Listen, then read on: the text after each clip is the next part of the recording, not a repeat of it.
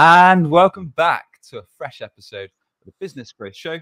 I'm your host, Sam Dunning, co owner over at webchoiceuk.com. If you haven't yet, check out our weekly email where we share actual tips, podcasts, bonus resources, and much, much more every Monday to start your week off with a bang. You can sign up over at businessgrowth.email. Joining me today is returning guest and without inflating his ego too much, he's probably one of the most viewed and downloaded episodes that we've had since he's been on. Um, recently, we've had him on sharing best practices for demos, working inbound leads. But it is Benjamin Dennehy, the UK's most hated sales trainer. Benjamin, welcome back, sir. How you doing?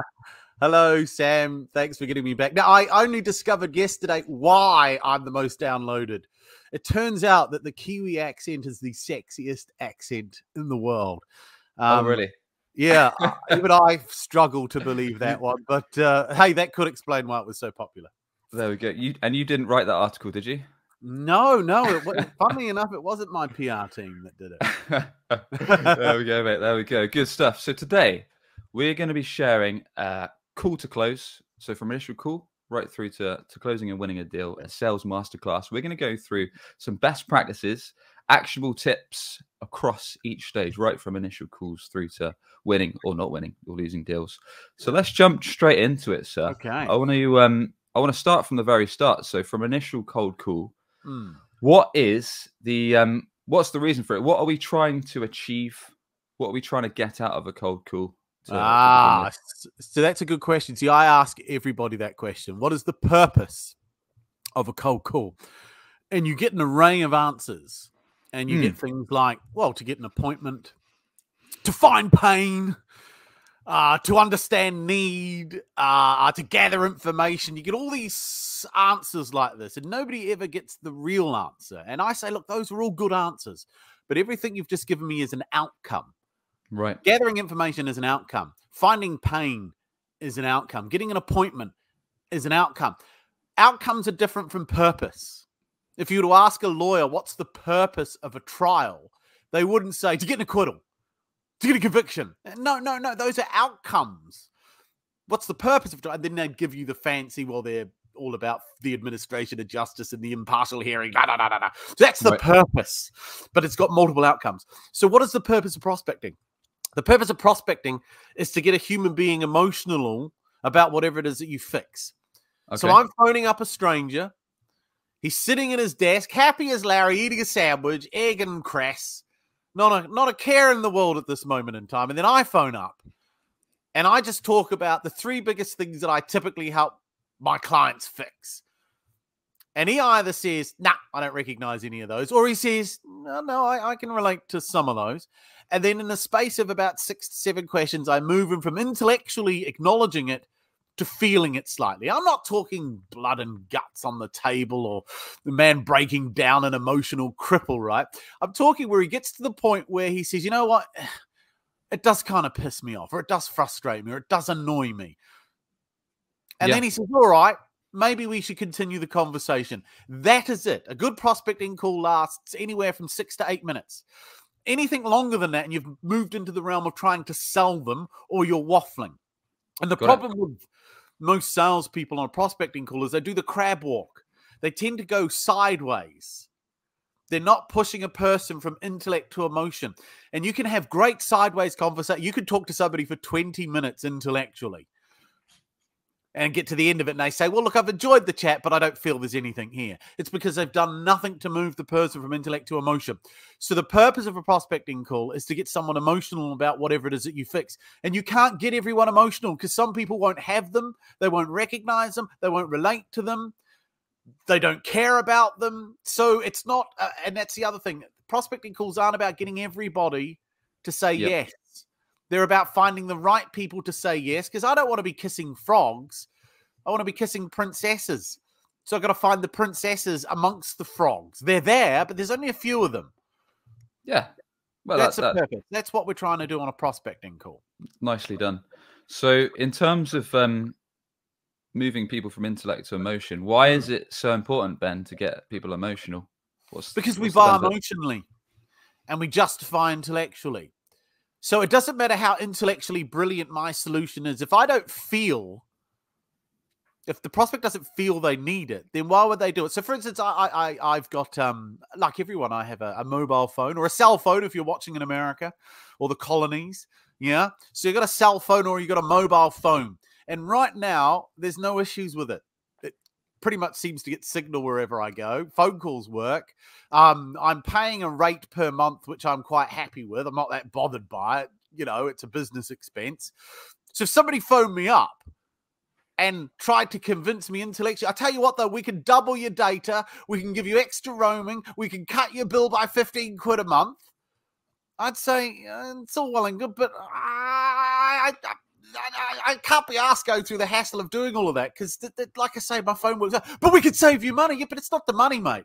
I don't want to go through the whole fucking hassle of changing this and the new sim. Nah, uh, it's fine. So you're never going to get me. But you will get me, and this is this truly did happen to me. One day I was prospecting, Yep. and my phone cut out twice on prospecting calls. Now you never get back to somebody when you get cut off. Yeah. I was pissed off. That afternoon, some chancer phoned up selling telecom services, right? And because I was pissed off about what had happened in the morning, and he said to me, you know, and he started doing his thing, and I said, All right, I hear you out, keep going. And he said, We'll give you this, we'll give you that, da da da. And I just said, All right, but I'll tell you what, I said, I'm in, let's do it. And you could hear the excitement in his voice. He couldn't believe what he was hearing. It's probably his believe it, right? of the day. he was thrilled. I can't believe it. This guy's going to buy. and I said, Hey, look, before we go forward, though, can I ask you a question? He goes, Yeah. I said, Why am I buying from you? Why have I agreed to do this? Do you know? And he goes, Well, because, you know, we're going to double your data. Um, we're going to save you. I said, No, no, no. I said, Look, I have no idea if the service you're about to give me is going to be any better. I don't need the extra data. I'm going to take it because you've offered it. I, and I didn't even. Do you know why I'm buying this? He goes, Why? I said, Spite. I said, Because as of today, Anger. whoever it was that was getting my monthly fee, they ain't getting my money. You could be equally as crap. I right now I don't care. I just don't want to give these pricks my money anymore because this morning I think they cost me money. So any other time they would have been given short, sharp shrift. Mhm. But he got me when I've been let down by whatever it was that he sold, and I, I was emotional, pissed off, annoyed. So that's why when you're prospecting, you're going to find that they're sitting there eating a sandwich. You've got to talk about what you fix. And then they suddenly say, Yeah, I do recognize it. Or, you know, we have that as an issue, or we've tried to fix that. Then we can get them into a proper conversation. That's why it's important because the journey has to start emotionally. If they just invite you in out of intellectual curiosity, you're kissing a frog. Yeah, no one wants to do frog. that. So you mentioned something interesting earlier, something I Mm. often talk about when we're talking about websites and SEOs to prospects, that you don't want to drive a ton of prospects through the pipeline that aren't actually a fit to do business with you. So, No. the, like you said, the purpose of cold calling isn't to get everyone to say yes and agree to a meeting, because that would waste your time and theirs. You're Yeah. just going to go through a qualification initial meeting discovery and realize that you're not a good fit for everyone. Um, just like with your website, you don't want to drive as many leads as possible because not everyone might be able to do business with you, afford your solution, be a good fit, whatever. So, with that said, Hmm. what are some quick best practices, let's say, for the opener of your cold call? Um, how do you recommend it? I think everybody knows the one that I, I I'm most um Yeah, yeah. I'm I just want to hear it because I know a lot of people disagree with it, and I've seen a lot on. I know LinkedIn a lot of people disagree. Yeah, of course they do because they disagree with it because their mum won't let them do it. That's the real reason. It's it's not because it doesn't work. It's their mum says you can't say that. Hmm. Yeah, and this is the thing. I stopped listening to my mum a long time ago. I love my mum. I love my dad. They gave me great advice.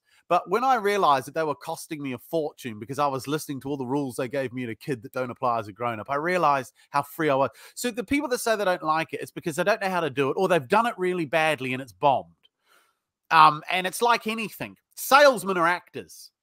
Sun's coming right and bright. Sorry, folks. It's just uh, it's just coming right. It's not I'm being ennobled or sainted or anything. It's uh, it's just the sun. It's- I can just see it. But um, what was I saying? Yeah, it's it's so the opening line I use, I've got several that I like to use. So I interchange them, and it all depends on you know what I'm calling on. But the one that I prefer is, and I again, this works predominantly on decision makers. This works on people in the C suite, as they say. So I don't phone anyone below director level. If you're phoning below director level, you're wasting your time. Yes, occasionally some managers have the unilateral ability to spend money, but the word manage should tell you what they do. They don't make decisions. So phone at director level. And the thing about directors, these are tough people. They're confident people. They're assertive people. These are people that make decisions for a living. And they got to the top because they made good decisions. Sometimes they made bad decisions and they learned from them. So they're decision makers. They're autonomous and they're their own person and they have a very strong sense of concept and identity. So when you phone someone up like this, I want to deliberately poke them in a way that's going to make them react. And if you phone up a decision maker and you tell them to do something, their reaction is no. You don't tell me what to do. It's the human condition. We're rebellious by nature. We don't like to be told what to do. So when I phone up, the phone answers and I go, Hey, is that Sam? And you go, Yeah. You Sam, look, you are gonna hate me. This is actually a cold call. So do you want to hang up or let me have 30 seconds? And when you say to someone, do you want to hang up? The reaction, most of the time, it's not 100% because you don't know what frame of mind or what's going on in that person's world when you phone them. But most of the time, 95% of the time, if you deliver that well with assertiveness and confidence at director level, you often get a bit of a chuckle. you know, you get, you know, yeah, no, no, no, go on then, you know, or it depends what's it about. Yeah, yeah. So you get permission. They give you permission to talk to them. And then the other bit after that is I don't say, can I have? Or please, is it okay? I give them a command. I say, let me have. It's a command. So do you want to hang up or let me have? So I'm commanding them with the second bit. And it works on a psychological level because the instant reaction is no, don't want to hang up. Yeah. And then let me have 30 seconds. And then you'll get three answers. They'll laugh. Ha quite like that. Go on then. Some will say, well, what's it about? Which is kind of a weird thing to say because you've just said, can I have 30 seconds to explain what it's about. So it's it's it's, it's, it's they don't know what to do here. They're caught up. They want to say no, but you've caught say, them. How much of this is because it's still very unusual to hear this type of cold call intro, and how much of it is weighted on the way you actually deliver and your tonality? The delivery is key. If you say, um, I'll, I'll be up front. This is um, this is a this is a cold call. Um, do you want to hang up or can I have thirty seconds? They're gonna think loser, wimp. Remember, if you're talking at decision maker level, you've got to be like your prospect. You've got to mirror them and you have to sound like them. And that's very hard for most people in sales because most people in sales are young men and women in their 20s, maybe early 30s. They don't own two homes and a boat. They aren't technically successful by the wider world standards. And now you're phoning someone who probably is successful. So you don't act or sound like them. You have to learn to create that character. I had to learn it because I wasn't like that. So it's tiring to be a good actor because every time you pick up that phone, you've got to become that same character just for a few seconds and then you can go into a different role. So, yeah, it's very important that you deliver it well. Yeah, yeah, and that makes sense. And because we want to, we've got a few other topics we've got to move yeah. through. Any other quick, quick pointers on the cold call in terms of you mentioned earlier, you typically involve three common pain points or problems that your customers will typically have. So yeah. Is, is, that the next step, or if we could just? Well, the hardest thing for a salesman to do is put himself into his prospect's shoes and see the world through their eyes. So most salespeople always talk in marketing speak or solution speak. We yep. help companies do X, Y, Z. We have this proprietary system that can do. We achieve blah blah blah. Uh, people tell us they have, but your prospect's never thinking in that language. So I can't phone up and say, Hi, I'm a sales trainer and I give people a systematic, psychological based approach that will enable your salespeople to get it. And he goes, Oh, well, it's funny you should say that because I was just thinking about that this morning. No. What is a guy that could use me probably bitching or moaning about that I could fix? And I know the number one thing I phone any MD or CEO, go, Look, you, you've probably got great guys, but you're maybe a bit frustrated that they're reluctant or not motivated to pick up the phone and prospect and they say to you, Yes, I recognize that. That's what we're after. We're after what they see in their everyday life. So you've got to reduce it to that. And that's hard. I, every client I get has to do that exercise and they struggle because they write down what they fix. No, no, no, no, not what you fix. Write down what your prospects viewing in their everyday life that you fix. oh, I don't know. So how can you phone someone up and honestly say you understand them when you can't even view their problem through their eyes? So that's a key takeaway. And if you get that right, your prospecting calls will work so much better than the vomit you're probably spewing on them now. Yeah, it informs your marketing a lot. We've done a lot of past episodes where we've talked to marketers and basically shared about how you can run customer interviews. So you interview your current best customers, find out the problems they actually came to you with, what they wanted to fix, find out the ones that are the most common, the juiciest, and the ones that actually bring cash flow, and then use those in your sales material, whether that's in your calls, your website, your yeah. marketing material, and all that good stuff. So that makes sense. Um, and just to wrap this up, are we?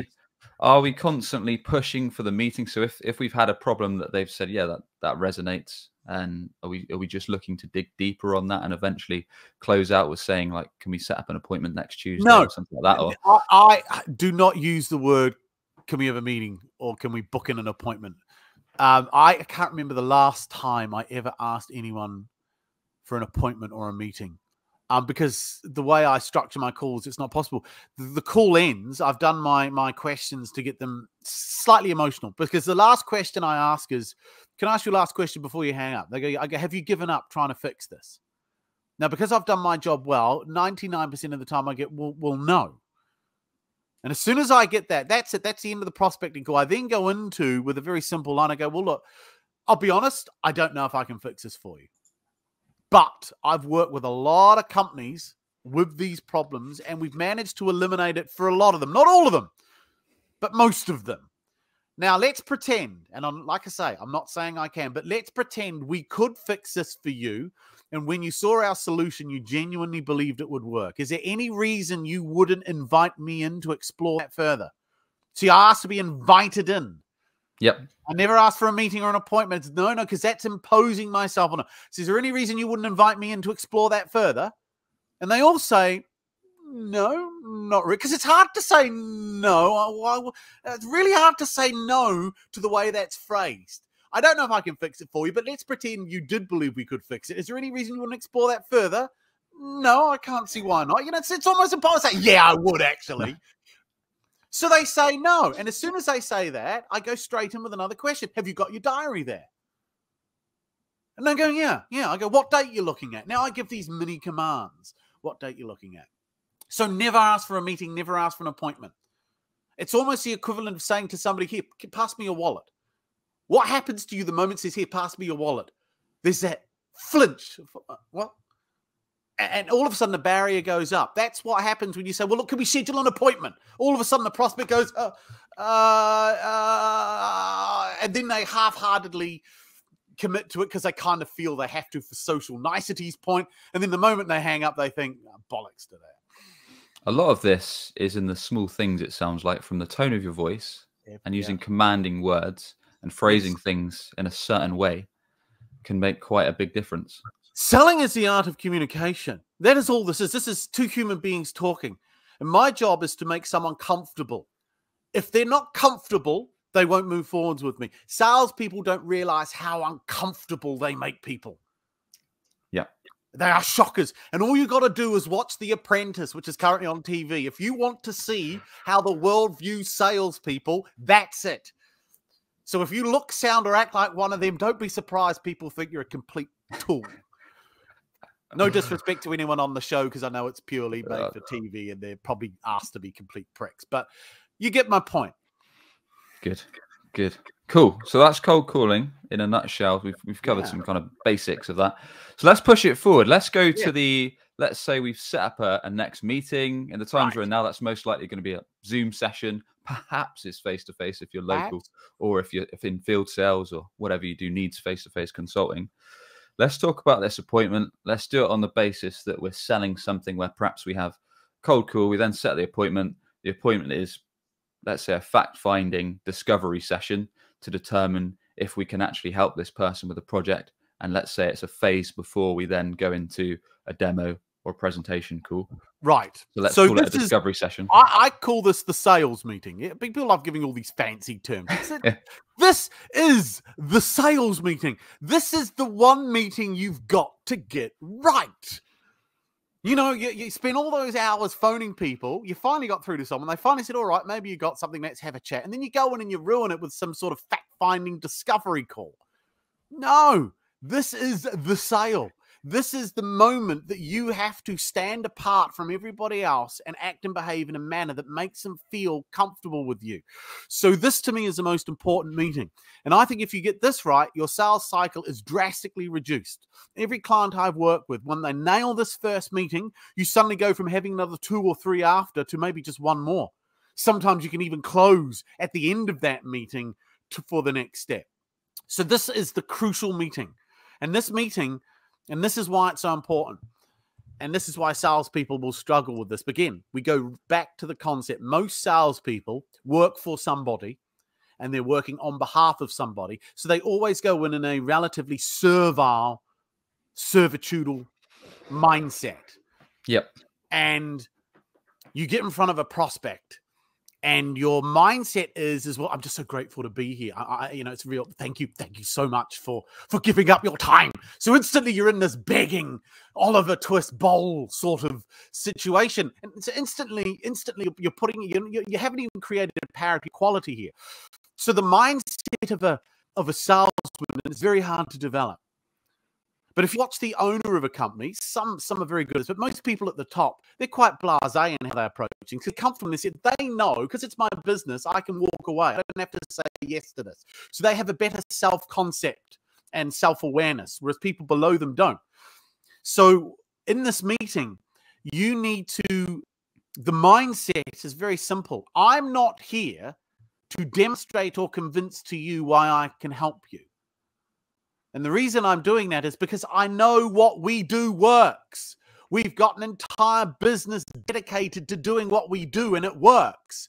So the problem isn't I'm here to prove to you that this works. I'm here to figure out if you're someone that we should let buy from us because that is the problem salespeople don't have. They're always in there trying to get some to want to like them or convince them they need what they have. No, no, no, no. If you have problems we fix, if you accept you have problems we fix, and you can convince me you actually want to fix them, then we're going to be able to help you. So I'm not here to prove to you that we can help you. You need to convince me that you're someone we should work with. And that mindset fundamentally changes how you act and behave. Now, you're not arrogant, you're not a twat. You do it in a way that makes people comfortable. But if you go into it with that mindset, I'm here to figure out if we should work with you because there are more reasons for you not to buy from me than there are to buy from me. We're going to figure out if any of those apply. And if we can't get over them, it's over. If we can get over them, then we'll move forwards. So that that that to me is a fundamental thing. You're there not to convince anyone that they need you. I know what we do works. The only thing you have over me, prospect, is choice. You get to choose who you give your money to. But other than that, that's all you have. Your money, I don't need it. We do well. We don't yeah. need your money. We like your money, don't get me wrong, but we don't need your money. So that is the fundamental thing about this meeting. It's not about you convincing them why they should move forwards. It's getting them to convince you that you should move forwards with them. That mindset throws most people in sales because they, yeah. they can't do it. It's just, no, I can't do that. No, no, no, no, no. I've just got to show up, throw up, and hope.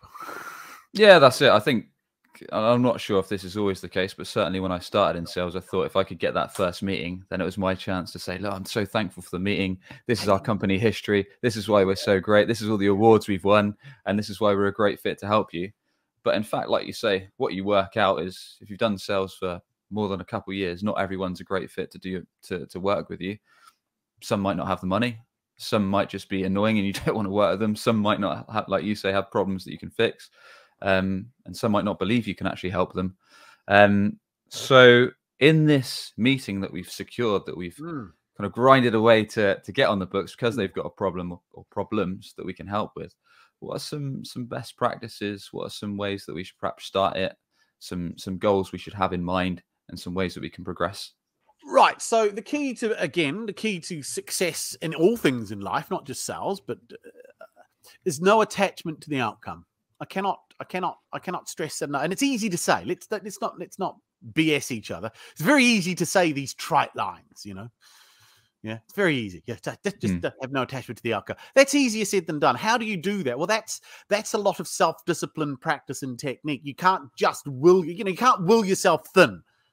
Yeah, just have a good mindset. Yeah, just every day say I'm thin, I'm thin, I'm beautiful, I'm thin, I'm thin.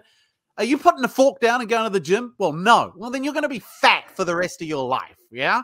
So, so it's very easy to say think yourself thin and all that crap. So you've got to start behaving differently. And the first thing you need to do is no attachment to the outcome. So when I get in front of a prospect, I go in there not with the intention of selling, because I'm not there to sell. I'm there to figure out if I can move forwards with this person, which means there are certain things I need to understand.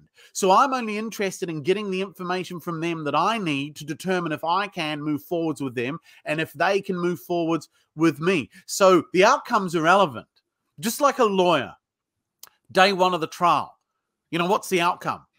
Well, the outcome is for me to do the absolute best job that I can. Whatever the jury decides, I have no idea what juries do. Yep. When they go out there, they do their own thing. All I do know is from experience that if I do all these things really, really well, statistically, there's a good chance that we'll get an acquittal or we'll get the, the verdict that we want, but it's not guaranteed.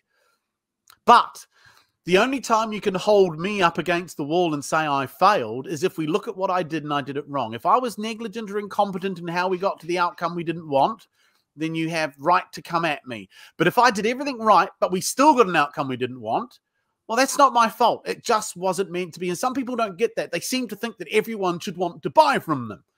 No, you're going at it with the wrong mindset. So you need to, first of all, no attachment to the outcome. The purpose of this meeting is for us to figure out can you convince me you want to fix your problem? So I look for five things. Do you have a problem I can fix? So I need to figure that out. Second, do they acknowledge and accept they have the problem? Okay. Thirdly, can they convince you they want to fix it? Now, those three are the emotional bits, and those three are the important bits because you can meet people that recognize they have a problem, but they don't want to fix it. And it doesn't matter how logically brilliant, no matter how much money you can save them, no how much better you can make them, if they don't actually care or there's no reason to fix it, then they won't. And salespeople miss that and they come away. I don't get it. We could have done so much for them. We could have done all these. I, I just don't understand. We, we, well, you didn't sell the value. No, you did. They just didn't care. So they, if they can't convince you they want to fix that problem, it will go nowhere. So you got to get cou- those three things. A couple of things on that before we jump into the, Mm. the final two of the five. So how do we? So you said you, you don't like calling it a discovery call, which is fine. You call it whatever the heck you want. Call it a sales meeting. Yeah. But how do we position this so prospects don't feel like we're running a Q&A. We're not going through our company's qualification sheet, rolling off 20 questions that identify whether this prospect is a good fit to become a customer or not. Um, how do we position these qualification questions around their problems, them acknowledging they have a problem that we can fix and progressing them across the sales cycle without them feeling that we're doing so? Well, that's an entire training course. yeah, yeah, yeah. An entire training course. You've just. I mean, that's the that's the that's the meat and two veg of the entire thing, Yeah. right? So the, I'm not going to be able to do it justice in a few minutes. But the, the the the fact of the matter is, again, it's easy to say these things. It's harder to do them. It has to be a conversation. Again, that's a very trite thing to say. The problem is, is most salespeople have questions designed to elicit intellectual answers and designed to gather information that enable them to talk about them or their product. That's why they're bad. And they ask questions in a manner that can come across as a cross examination. Most salespeople, most human beings, it's not just limited to salespeople, most human beings are terrible at asking questions because we ask what's on our mind without filtering it and without thinking, how is this going to be received by the other person? And you've all been in a situation, a, a business or a personal situation where you've said something and then the other person says something back to you, and then you found yourself, yeah, but that's not what I meant. Well, whose fault is that? It's not the person's fault because obviously, how you communicated what you meant to communicate, you clearly didn't communicate it. So, selling is about the art of communicating. So, when you ask questions, first of all, you have to ask relevant questions that are designed to move people to emotion.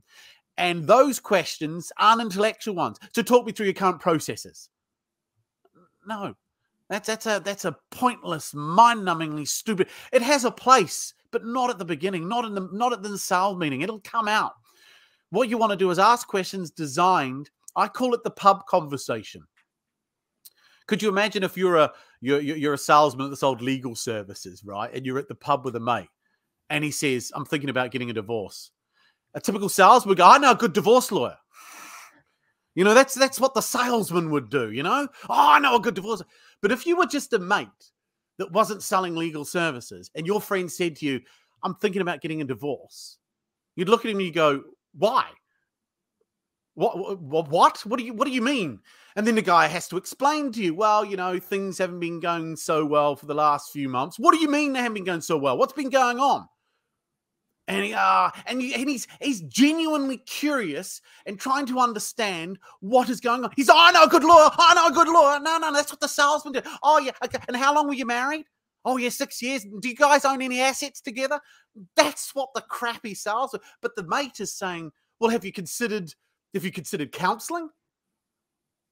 Uh, yeah. What about just taking some time out? Uh, you know, maybe, maybe a quick. He's giving all the alternatives to divorce. But the sales guy, I know a good lawyer. I know a good lawyer. You know, and it's so it's it's it's it's it's getting him to appreciate that the conversation you have with a prospect has to be conversational. It has to be one where I'm exploring and trying to find out what the hell is going on here. You've invited yeah. me in. Let's find out if there really is something here. Now, people think because they're sitting opposite a guy who earns 120k a year, he's got a 3,000 pound suit on, and he looks serious, that you can't talk to him like a human being. You can, because underneath that 3,000 pound suit is a guy that has the same weaknesses, fears, looks in the mirror, says, God, I'm getting old. I need to lose a bit of weight. Same, same, same, same. But you don't see that. You just see CEO, successful business. I better be off to answer his questions. I better come across as intelligent and smart. And yeah. you don't. That, so that's the, the, that the nub of this meeting is getting to the heart of what's going on. And you can't do that if you've just got a series of intellectual questions or really lame questions. What keeps you up at night, sir? Oh my goodness! I mean, too many beers on. at the pub. Yeah, it's just it's terrible. It, oh, anyway. Yeah, yeah. So, so yeah, gen, genuine, genuine curiosity. Um, genuine curiosity. I think what I find anyway is if I speak to a sales rep and they're asking, actually asking me those kind of questions, it differentiates them quite a lot. Um, because, like you say, most people just want to throw up and show up and try and shove their product or service down your neck before you can even kind of string a sentence together. Mm. So, if hmm. someone's actually showing interest in what your current position is, what your current state is, why you've even thought about that. Why aren't you trying to fix it yourself? Why haven't you tried a similar solution? And why you've gone through X, Y, Z, and what's brought you to this po- moment? And they're actually thinking, well, this person actually cares about helping me rather mm. than just trying to shove their product down my neck. Let's, um... yeah, it's. I just want to get to the truth because the truth will help me determine if you're suitable for our stuff. Mm-hmm. Um, because it's a, yeah, like I said, most salespeople are like air hostesses without the drinks. You know, they got that forced smile and oh yeah, mm. they just go along with no matter what. They just got to be polite and civil. That's what salespeople are like. You know, they're deferencing themselves to their prospect. Whereas I'm sitting in there and I'll talk to them like I've known them for 20 years. I won't be overly familiar. Hey, mate, how are you? Know, nothing like that. But, and I can talk to them on a human level. Well, I don't understand when you say you're thinking about getting sales training. What do you mean by thinking? because this is also people say to me, How do you good at asking questions? I don't have a list of pre scripted questions that I ask. All my questions are based on everything that the prospect's saying. And it's often I listen to their words because remember, this is all about communications. The higher up you go, the smarter you go. They use words for particular reasons. So I challenge anything that sounds opaque. So somebody says to me, Well, we've been thinking about getting sales training, I go, Well, when you say thinking, what do you mean? Because what does that mean? We've just come up with the idea this morning. We've actually been talking to other sales trainers. Uh, what does thinking mean? So then, then they say, Well, when I say thinking, it's been a conversation we've been having over the last few months. Why have you been having that conversation? Well, we've noticed a dip in our sales. Well, what's changed? In the last few months for the dip to happen? Well, that's it. We don't know. Well, when you asked your sales guys why are they not performing, what did they say? Well, I've not asked them that. Why did you not ask them that? So this is how that. So every question I ask is predicated on what they've said. That's why people don't get upset, or that's why people don't stop me asking questions because I'm not cross examining them. I'm actually just responding to what they've said. Yeah. Yeah, yeah. that's a skill, and that's a very hard skill to master. Because to get good at it, you've got to have a lot of terrible, terrible sales meetings, and I have. I Yeah. have. Getting getting to the heart of the issue. Heart of the issue. How I guess two two ways to almost wrap this up before we Mm. talk about the last five points. How what happens if you've had a, a bit of a chat, you've gone through some of these points, you've dug a bit deeper, Yeah. and you realise that this prospect is not someone that you can help? How should we close that out? And on the flip side, how do we then, if we think we can help them, convince, or how do we tell them to tell us that they believe that we can help them? Ah, Well, two. Well, if you get to the end of it and you conclude you can't help them, it's easy. You just tell them. I'll be honest, I can't help you. Do you know the reaction you get? Do you know how hard it is to get people not to work with you when you tell them you can't work with them? It, it, it, it blows my mind. Look, I can't help you because then they look at you like a child. It's like, why? you go, well, look, it's because, and then you give them your, and some will say, yeah, yeah, yeah, but we can overcome. They'll actually start fighting with you. But if you really don't want to work with them, you just plant your feet. Now, the other scenario, you want to work with them. You know you can help them. Now, I would have done a lot of stuff at the beginning. See, salespeople leave the hard stuff normally to the end. I've already got them to agree at the beginning of the meeting that what happens next is what happens next. That's very important to do. And we haven't discussed it and we won't. So when I get to the end of the meeting, I never ask for anything. All I say, I wrap up all my meetings the same way. And I know when I've got to the point because I've been doing this long enough and I know my prospects and I know my world inside out. When I get to the end, when I get to the point where I know it's appropriate, I always look at my watch. I don't wear a watch. It's all acting. You sort of look at your wrist because that's the motion for time because body language is what we read. So I look, I go, look, you know what? I'm conscious of time. We've been doing this for about just over an hour now. Look, we're going to have to wrap this up. Can I ask you a question? Yeah, sure.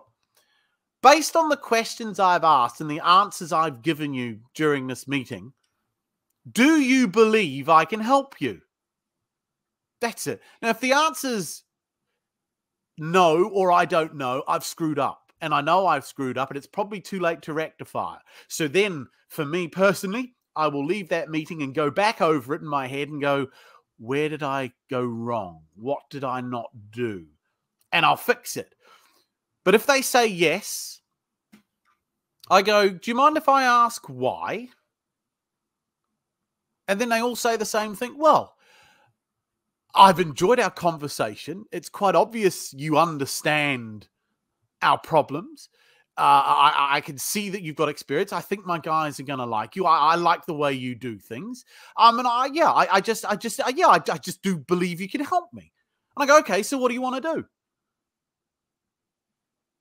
And they go, well, you said at the beginning the next step would be we do da da da. I go, okay, do you want to do that? Uh, yeah. So I I never asked for the order, just like I never asked for an appointment. If I've done my job well, all I do is, do you believe I can help you? Yes. Then there should be no reason why we can't move forwards. Yeah. It's that easy. But getting there, you can't just do that. You can't do a really shite job and then do that. It won't work.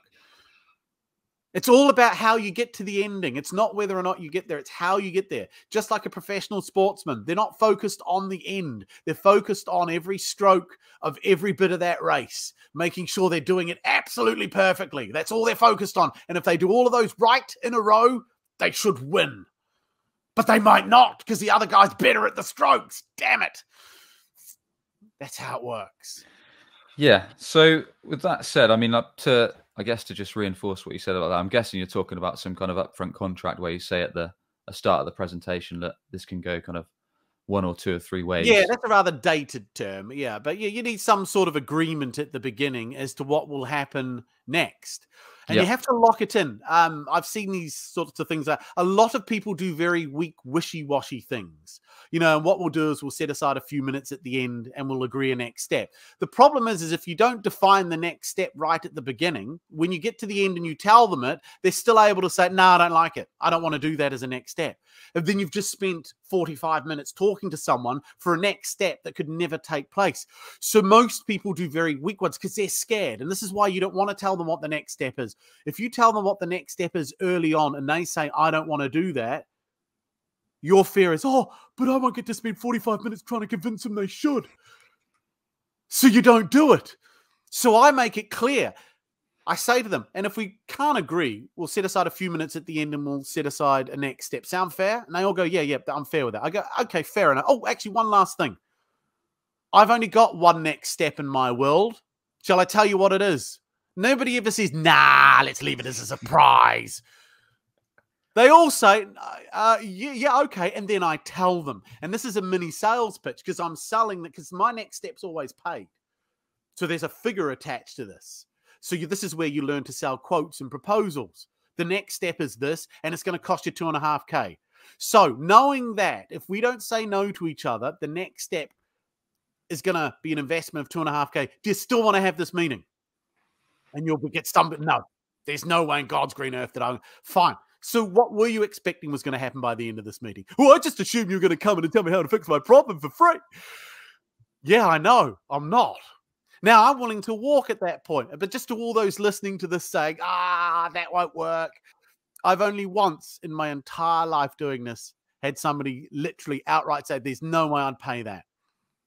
Everyone has said they can lie to me. They'll always said, No, no, no, no, no, no. I'm I'm I'm comfortable. I, I knew this was going to cost money. I didn't think anything would be free. And you'll be amazed at prospects how many will say that. The fear is that they won't. But I've had clients phone me up. I had one sold tech and I taught him how not to do demos. We eliminated demos. Demos are pointless. And he sold proposals, scoping documents. And the, yep. it took him six months to pluck up the courage. Then he phoned me up and he said, I did it. I sold one. I go, well, what, what you get? He goes, five grand. I go, get out of here. I go, what's the biggest takeaway you took from the experience? He goes, well, the, the thing is, it was his reaction. I go, what do you mean? So I did everything you said. I structured it the way you said. And then I said to him, and, and it's going to cost you 5K. I go, hand? He, he just looked at me and said, seems reasonable. And he goes, why have I never done this for? Because you're too chicken shit to ask, because you were always told you've got to do stuff for free to win. You've got to build a relationship. It might even start at a higher level, right? Because I actually started doing similar after one of our calls two years ago. Great. specific projects, I sell proposals or assessment documents. Yeah. And um, it also filters out the time wasters. So if someone's willing to invest in that, we might sell them a larger project and discount the price of the assessment off the mm. end, oh, end project yeah. with that in mind. So it, it certainly does work. I've sold it, it to C-suite, so I can out, back that up. It weeds out time wasters, but this is it. Salespeople don't care about time wasters as long as they can stick something in their pipeline that has a 65% chance of closing. It means they don't have to prospect and they get to live on and, hope. And hope is the currency of crap salesmen. Yeah, and it might be a problem with leadership as well, especially if you've got KPIs like ship this many proposals oh, or get out this many yeah. quotes. And it's yeah, like if, yeah. if you've got that pressure above your head and it's almost counterintuitive to some to some instances. Well, most sales managers were good order takers that didn't want to take orders anymore. Yeah. Yeah. Sadly. we know that, right? We know Sadly. that. Yeah. Indeed. So we we we progress. I mean that to what we've just covered there covers a good chunk of what you should be doing on a demo, really, doesn't it? Um, and depending. I, on... I, never use the word demo. Oh, oh no, no. Don't. What is a, demo? You may as well take your holiday photos and show somebody those. That's the equivalent of a demo. It's the commercial version of your holiday snaps. Yeah. And people say, well, we got to do demos. What you do if you tell someone, can we phone you and do a demo? Stop doing it. No, the next step would be for us to figure out whether or not we can move forwards. During that process, we may be able to show you some of the system to, to feed off, but we may not get there. Mm. That's what you need to start doing. But if you say, "Can we have?" I saw some guy on a YouTube channel saying uh, uh, he asked for 18 minutes so that they can do a demo to prove to you. So what the what? They go away, you know. Uh, 18 minutes for me to talk at you about why I'm so brilliant. That's why I love salespeople. They're forward thinkers. They created Instagram long before it existed. Yeah, see, sales meaning Instagram for sales folk. Yeah, it's just where you get to be narcissistic and self loving. Yeah, Instagram just uh, gave it to the world. Mm. Mm. So, do you think? I mean, this would this would vary vary massively depending on the, I guess, the sales cycle of the product, mm. perhaps piece of tech, whatever it is you're selling. Do you think that we should try and link that all into that one call there? So, what well, I'm saying, it's like there are there are challenges. I mean, Yeah. uh, you've got enterprise sales, and obviously enterprise sales are selling massive bits of kit. There's a variety of different stakeholders that have to be involved, and obviously that's not a one or two call close. But the the primary function of a salesman is to always be in control, and you have to design and so so every meeting can always end with a clearly agreed next step and consequences if nothing happens. The problem is that salespeople are scared to get commitments from from from prospect. They're scared that if they ask them for a commitment, that the the prospect will walk.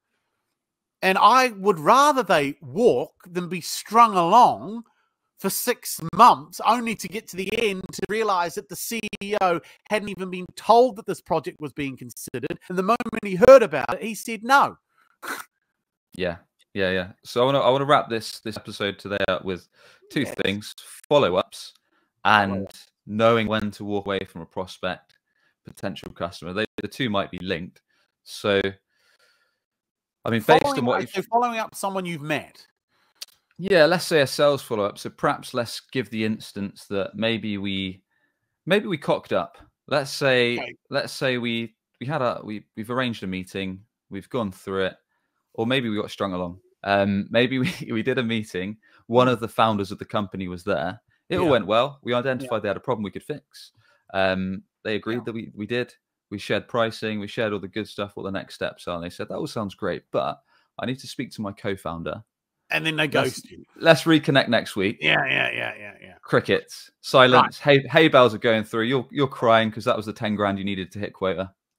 Okay, so this is what you got to do. And again, this takes courage to do because you're going to be scared to do it. And your mum's going to be saying, You can't say that. You can't ask these questions. Well, you can because I do it all the time and no one ever gets upset because I always operate in a world of reality and logic. So if that should happen to me, it doesn't happen much. But if, if, if I get to the point where they actually say, they actually get to the point and they say, uh, You know what, Benjamin, I, I, I- I don't want to give a no, but I don't want to give a yes. I honestly, this is not a fob off. They do all this drama and acting around this, right? It's not a fob off, Benjamin. Um, I, I do need to go and blah blah blah blah blah. I go, fair enough. Okay, so why don't we agree this? Why don't you reach out to me next week? And they go, fine. I go, okay, so what day can I expect to hear from you by next week? And they go, you'll hear from me by Friday. I go, what time Friday? And they go, end of play. I go, is that four, five o'clock? Five o'clock. Okay. So let's agree this then. If I haven't heard from you at five o'clock by Friday, what do I do? Do I chase you or just assume it's over? They all say, Oh, chase me. I go, fair enough. How many times? And they go, just once. You just have to do it the once. They go, but I promise you, I will get back to you. Now, I don't believe prospects are lying to you at that moment when they say, I promise I'll get back to you, because I do believe in the moment they actually genuinely mean it. The reality is, though, once they leave and they get caught up in their world and their lives and everything going on, you are the last person. And because you're a salesman, you don't have to keep a commitment to a salesman. So you just literally, I, I call salesmen a poo sticks. For those of you watching, don't know what a poo stick is. A poo stick, you, you would have done this as a child. You know, you stand on a bridge with a stick and you throw the stick in and then you run to the other side and you race it. Well, we're poo sticks because once we leave, they just chuck us into that river and we just drift off into endless time, right? Never to be thought of again. So I say, How many times? And they go, No, I promise you. I go, No, I appreciate that. I go, Can I be upfront with you? I know the whirlwind of life can take over and you may genuinely not get back to me. So why don't we agree this? If I don't hear from you, I'll phone you. If I get you, you can give me your answer. If I don't get you, I'll leave you a message and it's up to you to call me back. And if you don't call me back, I'll just assume it's over. How does that sound? No, yeah, yeah, that's fine. I, I'm fine with it. So I now know come five o'clock Friday, if I haven't heard from them, I just make my call. I get their voicemail, say, hey, Sam, it's Benjamin. Just as as agreed, didn't get your call. This is the message. If you still want to move this forwards, reach out. But otherwise, I'm going to assume you've managed to fix your problem. All the best. Bye. That. Two things happen. You never hear from them or they phone you back. Yep. So essentially, what we're saying is we agree. We really drill down because that is something you hear in sales so much, isn't it? Yeah. Like you, uh, don't- no matter what it is, there's there's oftentimes even if you've said even if you ask like who's involved in the process, every now and then surprises do come along, or people Yeah. don't perhaps share all the information that you needed. Yeah, no, And like you say, they might say, we need to get someone else involved, or we're actually speaking to another vendor and we'll, we'll let you know next Friday. So, what you're saying is really drill down and say, well, what time Yeah. next Friday?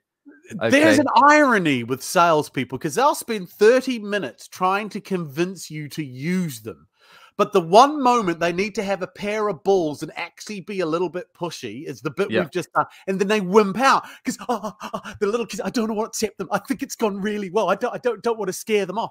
No, this is the moment to look, look, buddy. My, t- I'm not saying this, so just for the record, this is what I'm thinking. Look, buddy, my time's just as important. If you don't want to tell me no, I'm just going to by default assume it's a no. And I know you don't have to tell me no because I'm a salesman and you owe me nothing once this meeting is over. I know that. So unless we agree you owe me something and the consequences of not going through with it, then I can't blame you for being treated like crap. If you get treated like crap as a salesman, it's your fault because you let it happen. Stop letting it happen. Grow a pair Yeah. or Yeah. yeah. transition. I don't know what it is. Okay, won't get into that just now. But um, with that said, does that mean we need to have, have completely ditched because we're getting that agreement on whether they'll um, on what time we should call back if they don't respond to the call if they don't answer it? We're basically saying, look, we're we're going to close your account. That that's it as far as we're concerned, unless you get back to me or unless you answer that call. Does that mean there's no need for email follow up? Have you been eaten by an alien? Have you given Oh, up no, on no, the no, project? So again, I- again, I'm not a complete numpty because you see, I'll tell you a true story, and this is this is this is because life is funny. You don't know what happens to a human being once you've left, and I, I had that happen. Um, the guy said, "Look, leave it with me. I'll be in touch next week." He didn't get in touch. I I did what I agreed, Okay. and I heard nothing. Okay. right? So about three weeks later, I always do a nice block. Hey, Brian, I never did get that call. I can only assume you actually managed to solve this problem elsewhere. I'm going to close the file on this now for good, but I wish you every success. And this guy got back to me and he said, Benjamin, really, really, really, very sorry. Um, I've actually been out of action for the last couple of months. I was in an accident that involved the death of a child Bloody hell. you know and it's like you see so i can't that's why i never get angry with prospects if they don't get back because you have no idea what's going on in their life. You have no right to get angry with them. But if you agreed with them that you're going to end it if you don't hear from them then you walk away. Follow up in a few weeks with a look i haven't heard from you. Obviously you've managed to fix your problem. I'm going to close the file on this. And again if you send that close the file it's a lovely little phrase.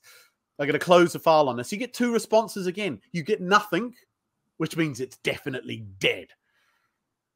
Or you get someone come back say, no, no, no, no. Look, sorry, I, I honestly, we've just had, we've just been investigated by HMRC and everything's been put on hold for the last six weeks. Stuff happens. So no, I don't say you just stick two fingers up, go screw yourself, sir, and then walk off. You know, don't be a dick. But what I'm saying is, this is about you not being a needy, beggy, pleady, desperate just touching base to see how you are. Oh God, go away. Just in the neighborhood. No, you weren't. You made a three-hour detour to pass my office. It's pathetic.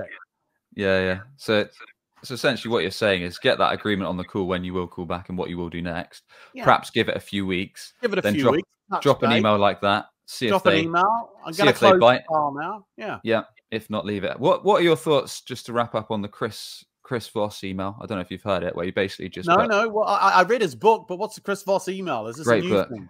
Yeah, well, I don't. I don't think it's new. He does talk about it in his book. Um, Josh Braun and him have talked about it as well. You basically put. I think the subject line is just their name, and then you Yeah.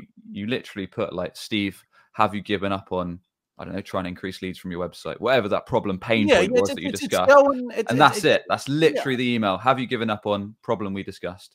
And Well, it's, I, I suppose what I say is in a similar fashion, just slightly different. It's, it's, it's prompting the same reaction from them. It's to get them to say no in their head. That's all Mm. you're doing. So I say, look, I get the, I, I get the, I'm going to close the file on this by saying that this voice. Oh no, no, don't do that. Yeah, same thing. So you're just trying to get them to say no. It's all about going, going for no. And uh, there are books written. In fact, there's a book called "Going for No." It's a very easy thing to say but most people don't do it. And this is this is why I love salespeople. They love reading books. They just don't do anything in them. Yeah, yeah, yeah. Awesome. Well, I think we've wrapped up quite nicely. Is there Yeah. anything else that you want to finalize on, Benjamin? Have we covered pretty much everything? Uh, the, the simple rule is this: you're your own worst enemy in sales. And you need to figure out why you're doing what you're doing. Why do you feel a certain way when a prospect says or does something? Why do you let things keep happening to you? Yeah. Uh, it's it's it's not the prospect's fault. Prospects can't fail at being prospects. There's no way they can behave that is off the charts, that is beyond the pale. They're allowed to behave. And the fact that it should ever surprise or shock you means you lack any sense of ability to learn from your experiences. Because there is nothing a prospect can say or do that should ever shock you. It's predictable. You could write it on a piece of paper. Very rarely. So if anything's happening to you, it's your fault. So stop blaming the lead. Stop blaming the data. Stop blaming the recession or COVID or Brexit. Look in the mirror and say, why am I so shit at selling? And then figure it out and then change. There you go. Benjamin, always a pleasure. Never a chore, sir. Thanks for coming Thank back. you. I think you're the first person to be on four times, I believe it is now. Three or four. Four? Did you say four times? I think you've been on four times. Oh, no It's, way. it's three or four, so that, that's that's Oh, the first milestone for that. So congrats. And with that said, sir, please do tell us more about how everyone tuning in can learn from you, connect with you, and anything you want to promote. Ah, yeah. So easy to find me on LinkedIn. That's where I pretty much hang out most of the time. Um, my website, uh, UK's with an S, UK's most hated salestrainer.com. Um, and I'm running a couple of boot camps next month. They're currently just over half full. Got a questioning strategies boot camp. And we touched on a bit of that today. And I've also got a telephone prospecting boot camp. They're also on the website. Um, and if you've watched to the end, and if you decide you want to do one of my boot camps, if you enter the word Dunning, D U N N I N G, Dunning, it's the Sam Dunning discount. If you put that in at the um, checkout, I'll give you, I don't know, 150 quid off whichever boot camp you book on. But these are for the March one. So Dunning, D U N N I N G, in the um, checkout where it says apply your code. But if you don't, tough. Got to pay the full rate. There you go. It's a deal. It's a steal. It's the bargain of the century. It is. Benjamin, thanks once again. We'll put all those, we'll put your link to your website over in the show notes at businessgrowth.marketing. And with that, I want to thank you once again, sir. Thank you for having me on. It's been a pleasure, Sam. No worries, sir. And as always, if you enjoyed the show, be sure to hit subscribe if you're on YouTube or give us a quick rating on the podcast channels. We interview business leaders each and every week and we share actionable marketing tips to grow your business, grow your revenue. And with that, we should catch you on the next one. Cheers. Goodbye.